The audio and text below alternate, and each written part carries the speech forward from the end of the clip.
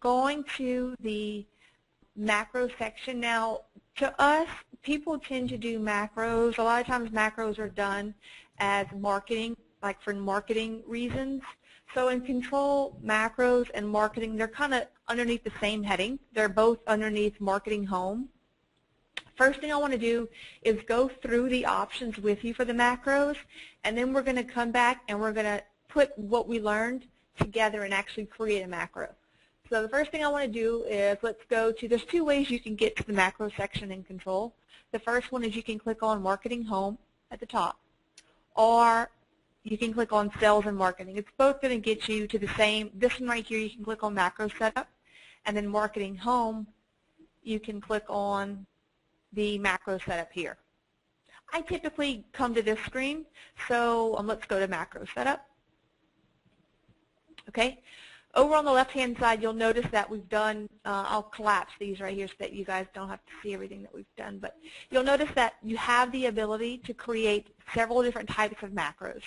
So you can create a macro based on a company event, an employee event, an estimate, an order, a purchase order, receiving documents. So there's several different things that can call that you can create a macro for. The first one that we're going to do is we'll do the one to email the invoice whenever the order is marked sale. That's going to be an order macro. So basically, it's whatever you want to return in the end. So if you want to return, if you want to email yourself a list of customers, you're going to do a company macro. If you want to send out an estimate, it's going to be an estimate macro. So whatever your end result is, whatever one of these options over on the left-hand side, that's the type of macro it's going to be. Now, one thing to remember, if you were going to set up the macro that automatically emailed the statements at the end of the month or the beginning of the month to customers, most people, they try to go underneath orders to create that macro, but that's actually a company macro. And the reason it's a company macro is because in the end, you want an email to go to each company that has an outstanding balance. Okay? So let's start by going to the order macro since that's kind of the most, the most common one. Once I select the top uh, a category, I can then select new macro. Okay, and the simplest way I can explain the macro is you're telling the system that whenever X happens, you want Y to be done. So whenever something happens, and that something can be an order station was changed, an order was created, a status was changed, an order was edited, anything that you can do in the system, pretty much. Um, so you're saying that whenever this one thing happens, you want this other thing to happen. So one thing causes another one to happen. Okay, so first thing we would do is we'd go through and we'd put our macro name, and we can put in a longer description of exactly what the macro is intended to do. Okay, so the two tabs here, the main two tabs are your trigger tab and your action tab. So your trigger tab is what causes the macro to fire or trigger. And then the action tab is what you want to happen. So you want an email, you want a message to pop up on your screen, you want a something to print out. Okay, so on the trigger tab, um, at the very top it says run this macro automatically. So you'll notice that this option here, run this macro automatically, your choices are you can either run it automatically or you can set the macro to run on a schedule. So let's say the example I told you about the statements being emailed out every month, that particular macro you would run on a schedule. So you would set it up to trigger every, let's say the 30th of every month or the first of every month. If you wanted something like an invoice to be emailed after an order is marked sale, that would be done automatically. Okay, so the options are automatic, where the system does it by itself, no, no person has to interfere, or the other option is you can run something manually or on a schedule. Okay, and the reason why you might want to run something manually is if maybe there are certain customers that like to get their their invoices via email and there's certain customers that you like to mail the invoice to, that would be one reason why you'd want to set up the macro to run manually. And that just means the person at the computer has to click on a button over to the right-hand side. Okay, so if we decide to run a macro automatically, Um, our options are we can set it to run on the server in the background. So basically what that means is if we want to send an email to someone automatically, so the order is marked to sale, we want the email to be sent. If we want that to take place on the server so that it doesn't interfere with anybody's work, basically if I'm in accounting, I change the status to sale, and automatically in the background, without me knowing, the email is sent. Then I would check this option here. If I want to be in charge of, of sending the email, what would happen is if I uncheck this, it's going to be sent using my email options. And then if Bob marks an order to sell, Control is going to look at Bob's email options to see how to send that email to the customer. Okay? Most of the time, people will run a macro on the server in the background. All right, so the triggering event, there's two types of triggering events for a macro that's going to run automatically. The first one is a change event. So an example of a change event would be a new order created, order edited, order status change, order station change. So all of these things here, these are all of the things that can trigger a macro. Now, some customers call us and they want they want to create a macro that's more advanced, that's not one of these things listed here. Maybe an order was created 30 days ago and the salesperson is Bob and the balance outstanding is over a thousand. Something that's more advanced than just this one option right here. What we would do is you could set an indirect change event, and you could write a SQL query. That's something that we would probably have to help you with. But typically, this is used only for doing something really advanced. Most of the things that customers want to do, you can use the order change event. So one thing to note here is because we started a new order macro, that's why your change event has to do with orders. If we had started a new estimate macro, these options here would all relate to estimates. So if we take a look at the options, the triggering event that happens for macros that are, that are manually run or run on a schedule, you can use the current order, and that just means um, whenever you save an order, that it would use that particular order. You can use a SQL query, which is something you'd have to write using SQL, or oops, sorry, or you could use a saved query. This is typically what people are going to use, a saved query. And a saved query is just an advanced query. Allow this macro to appear in the menu and be manually run for an individual order. Whenever we go to an order, I'll show you this one. Okay, so the trigger is you're telling control that whenever this particular action happens or this event happens, that's what your trigger is. Now your action is the result of that. So I kind of think of it as cause and effect. The cause is your trigger and the effect is going to be your action. So the action is the thing that you want to happen. By default, control adds the prompt to begin and the notify of completion to your actions. Now, sometimes you want stuff to happen on the server, and if something's happening on the server, you probably don't want the prompt to begin and the notify of completion because whenever you mark that order sale, you want to go about and maybe go edit another order and go about your business.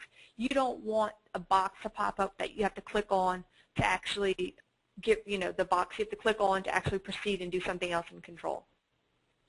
So the things that can happen in control is a trigger can cause another macro to fire. It can cause a station change, a status change, we could create a company macro, and I'll just kind of go through. The main ones that people create are going to be your activity. They'll create an activity on your calendar. It will create an email macro, or it'll send a report. And you can send different types of reports. Okay, and sometimes macros, some people, they set them up to for a macro to change a user-defined field. Okay, so I've gone through all of the different options with macros. Well, what I'll do is let me just take a, I'll, I'll show you how an email macro, how that works. We'll add that. Okay.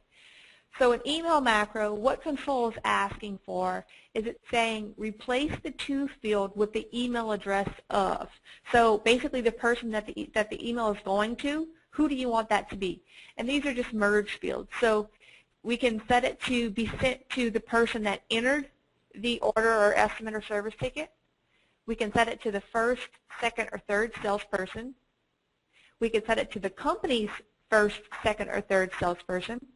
We could set it to send to the person who called about the invoice, the contact, the main contact on the invoice and the estimate, or we could set it to be sent to the company billing and, or primary address.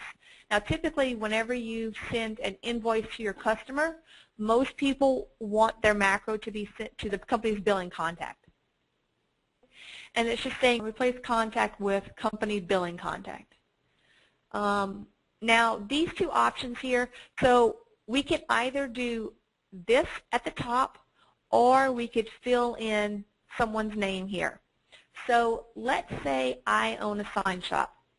And every time an order gets below a certain margin, I or an estimate gets below a certain margin, I want that estimate emailed to me. Okay? So if your email is always going to go to the same person, this is when you'd want to enter in that person's email address instead of using the fields at the top. Okay, but if the person that the email goes to changes every time the macro is ran, that's when you want to use the options at the top. So you have the option to send to carbon copy, BCC. Um, here's where we would say order, and we would use our merge field to insert the order number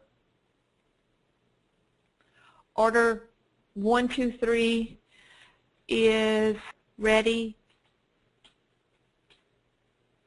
ready to be picked up.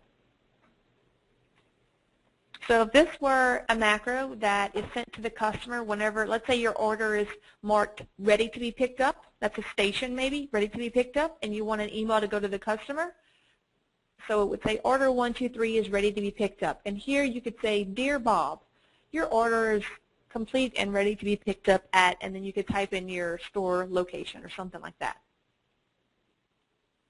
Okay? Um, so let's go ahead and let's actually start creating the macro that we want to do. The very first one that I'm going to do is an order macro that triggers on the station, the status change to sale, and it's going to email out an invoice. Okay, so I'm going to cancel this macro that I started. Okay, so in the very end, what we want is we want the email to be sent to, or an invoice to be emailed to the customer. So an invoice has to do with order, so this is going to be an order macro. So new macro. And I'll call this email invoice when um, on sale. Okay, and email sent.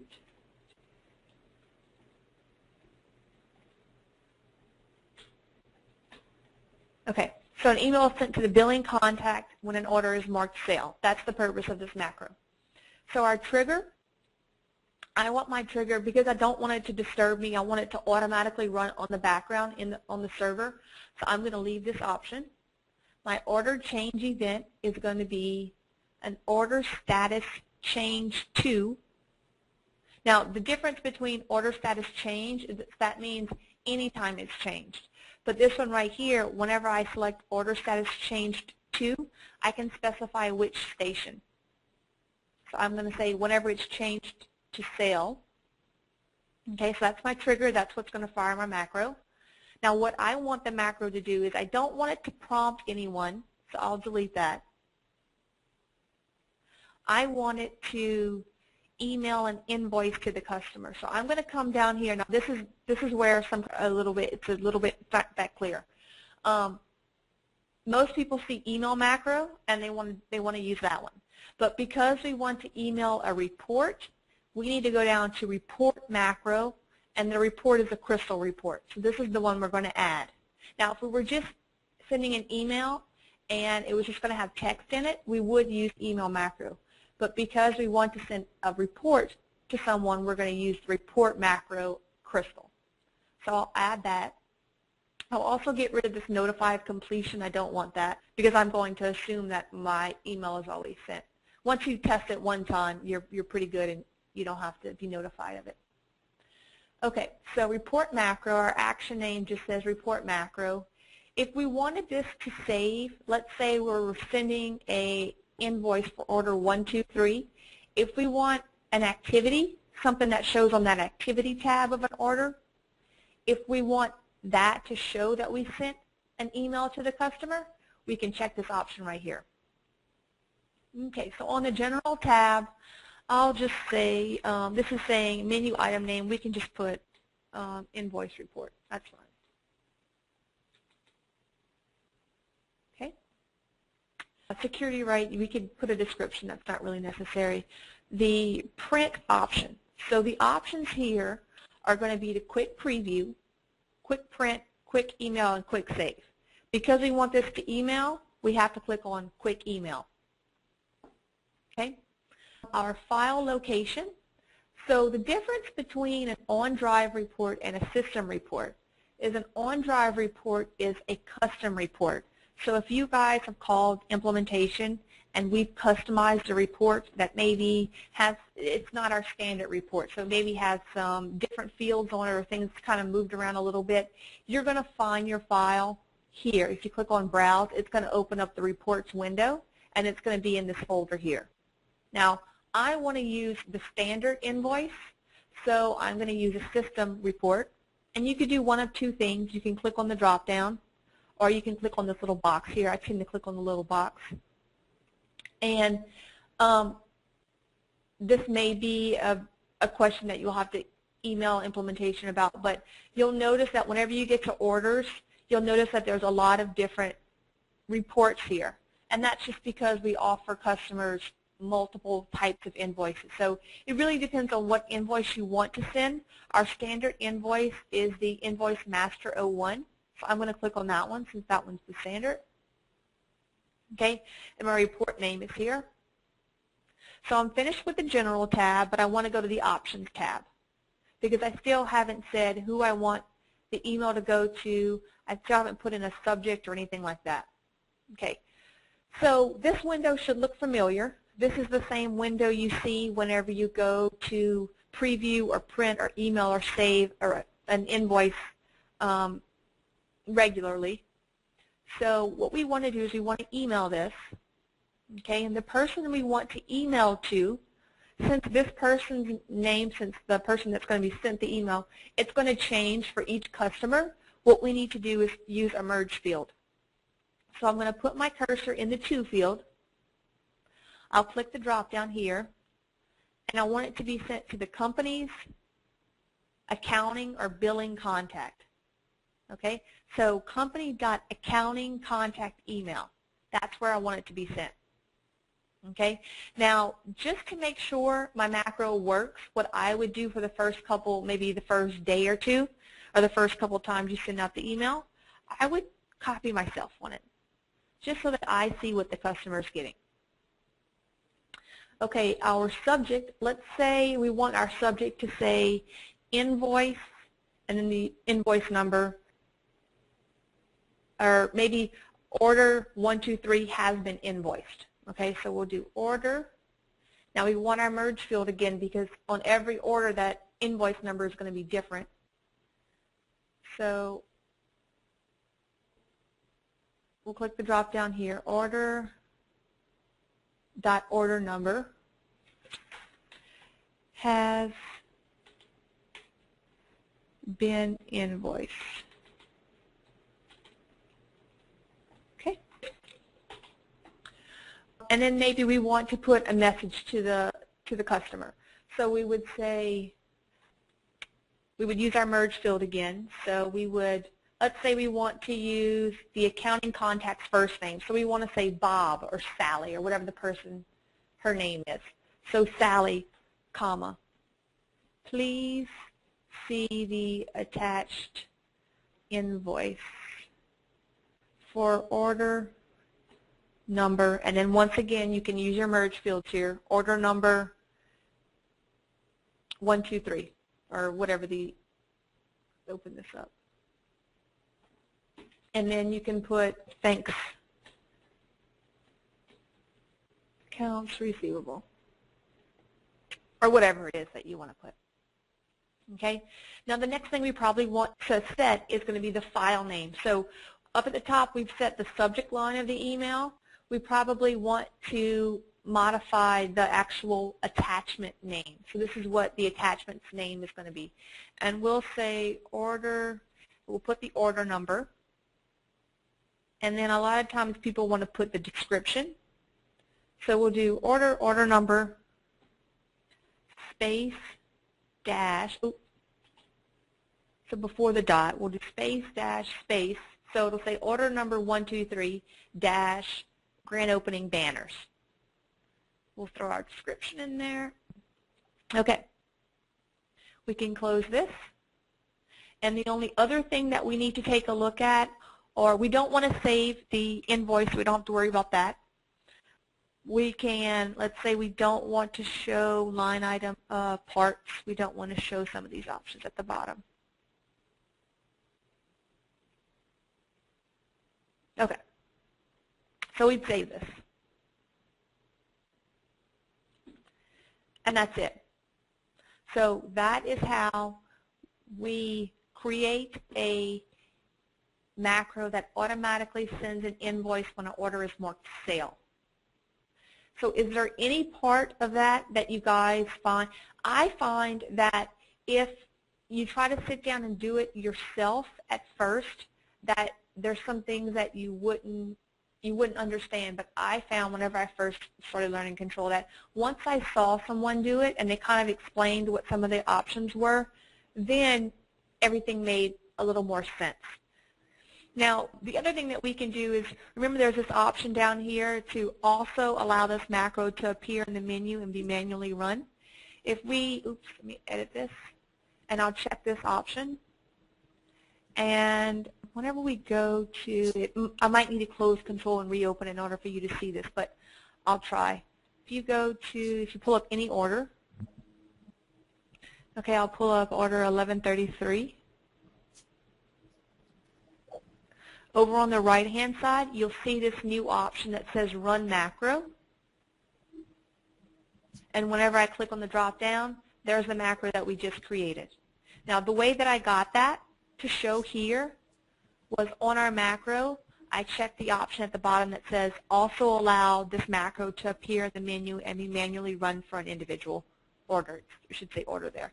So the reason why I would want to check that box is whenever, let's say the customer calls and they said, Lori, I know you sent that invoice to me, but I can't find it anywhere. Can you please resend it? All that I have to do is come over here and click email invoice on sale, and it's going to automatically trigger. It's going to run that macro and it's going to trigger.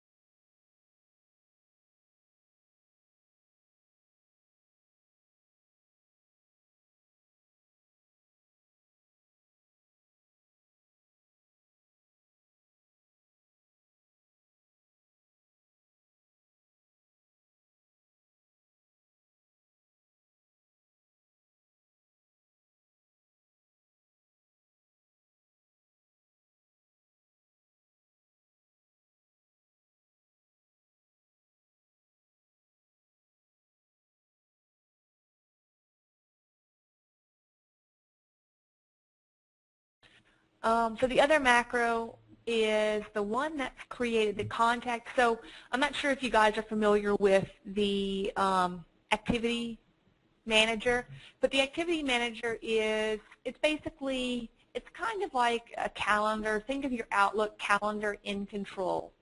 The benefit of having the calendar in control is that you can link it to companies and orders and estimates. So you can put anytime you talk to a customer about something, you can tie, like you can put in notes what you've said, and you can tie that activity to a particular order, estimate, or company.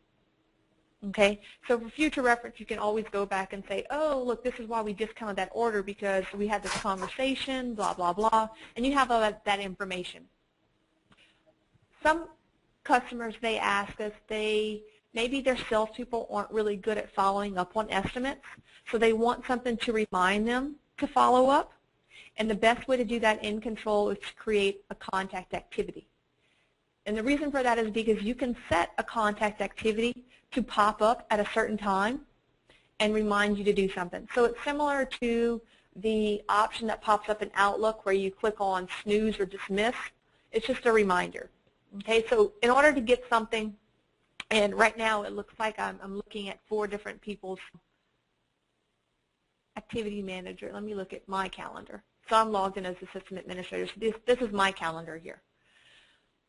So in order to get an activity to automatically appear here, what we need to do is we need to create a macro. So our macro is, we're going to go to Marketing Home, just like normal. We're going to go to Macro Setup. Okay. Over on the left, this is going to be trigger, triggered by an estimate, and that contact activity is going to be linked to an estimate. So we need to create an estimate macro. And I'm going to set this one estimate follow up. And we already have one call that, so I'll call, I'll call this one too. So create a contact activity two days after an estimate is created. Okay. For our trigger, once again, I'm gonna, I want this to run on the background. Our trigger is going to be any new estimate. Now notice how our options changed here because we're on an estimate macro. Okay. Now, if I wanted to put this on the menu, I could, but it's going to do the same. It would you'd basically be doing the exact same thing over again because this is automatically going to create that activity. So, okay, our activity is going to be a new estimate. So every time a new estimate is saved, we want a contact activity macro to fire. So we're going to click on Add here, and then I'm going to remove these two because we don't need the prompt to begin and then notify on completion. Okay? So our contact activity macro, I always just leave the name there. Um, record activity of action upon completion. I, I have a tendency to want to check this. Some some customers don't want it. I just like to know, I just like to be able to go into my activities list and see that that macro fired and the date it was fired and all that. So I tend to check it. Okay, so it says modify contact activity templates. We're going to click on that one. And you're going to notice this is exactly what you see whenever you create a new contact activity on your activity manager. So the activity is going to be created on my calendar. And for the, I'm going to set my reminder to, let's say, 15 minutes, just so that it pops up and reminds me. My description is going to be follow follow-up call. Follow-up calls and then I will set this to, let's say I get in at 8 o'clock in the morning. Let's say I want it to show on my calendar at 8.30 for 30 minutes. So every day I'll put aside 30 minutes to follow up on previous estimates. And for this particular estimate, one of the options on the left-hand side, if I don't complete this activity, so if I don't call the customer, come back in control and mark that I've called the customer, my activity is going to show on tomorrow's calendar. And tomorrow, if I don't call them and complete the activity, the so the reminder is going to keep on rolling over until you actually complete it. I like that option, so I'm going to click on that checkbox. Now, if you wanted to, you don't have to set the activity as for a certain time. You can just say, so you have your con, you have your activity manager, and at the top you have a section, and at the bottom you have all the different times. So let's say you don't want to put this contact at a certain time because you don't necessarily have to call them at 8.30. Um, it's really whenever you have time during that day. One thing that you can do is you can say only schedule the date, and that means it's timeless. So it's just going to show at the top of your, your um, ca calendar. So if you've created five estimates today, you're going to have five different contact activities. And then let's say I only get to call three of those people. So the two that I don't complete are going to roll over to tomorrow's calendar.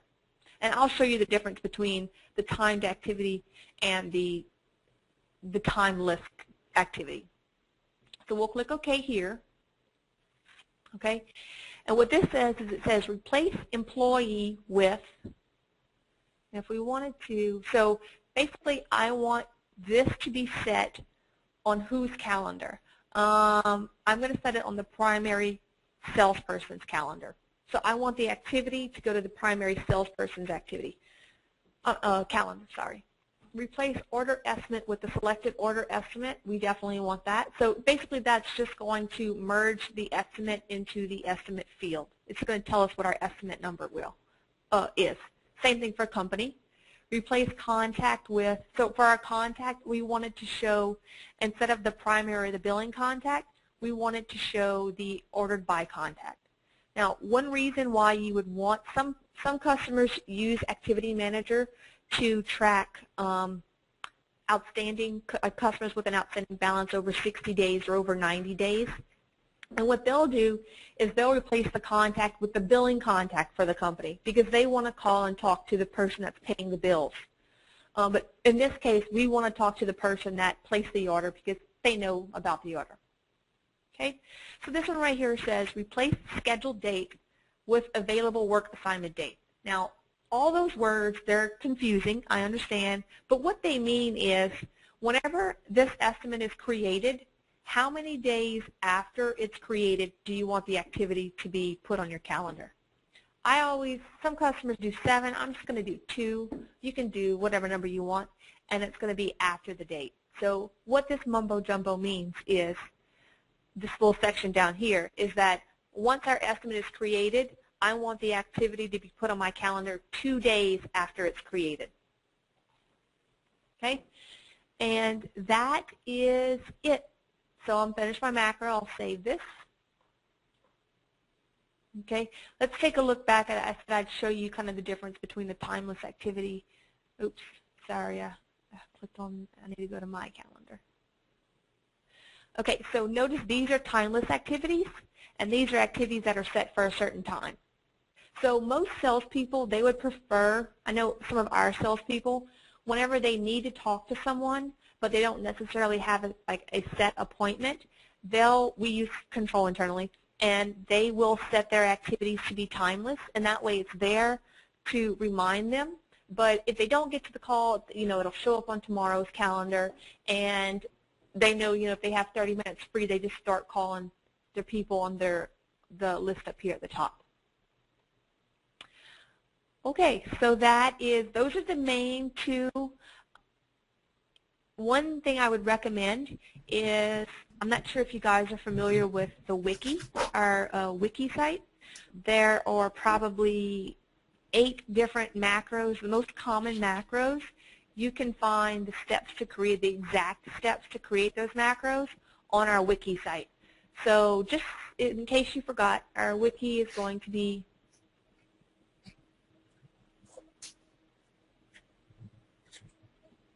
controlwiki.com.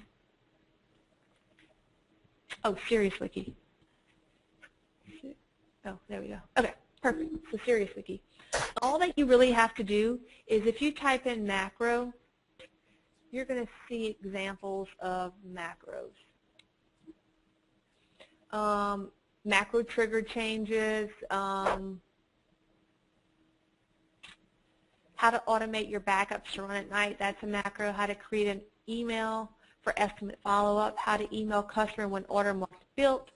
If you go to the next page, the two that I went over in here, how to create an, an email for estimate follow-up, how to email invoices on orders and save automatically, and then the same thing manually, how to email account statements. So there's, there's a lot of um, step, and these things are step by step. Uh, one of our, we have a, a customer who's he's pretty much a power user. He lives in Virginia, and he's gone and he's kind of helped us. He's put in some of the macros that he uses, and it, this is step by step exactly what needs to happen. And uh, and he uses them, so the steps definitely work.